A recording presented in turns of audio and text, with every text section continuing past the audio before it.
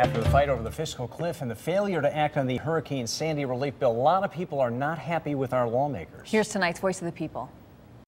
I am appalled that the government waited this long to do anything about the fiscal cliff. They had months to deal with this, and they waited to the last minute.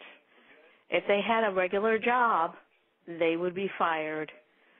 And I think that, you know, because they put the American people in so much duress, that, you know, maybe next year they should have their pay cut in half to let us know that, you know what, we, they feel sorry for us, the, the poor person, the middle class person, and that they don't need all that money.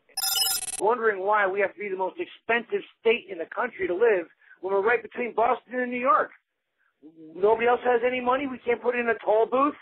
We need to take everybody that is representing us and fire them and start paying public servants minimum wage.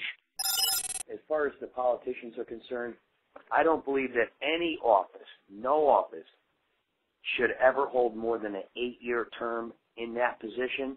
These people are way too comfortable in their positions. That's why they can never get anything done.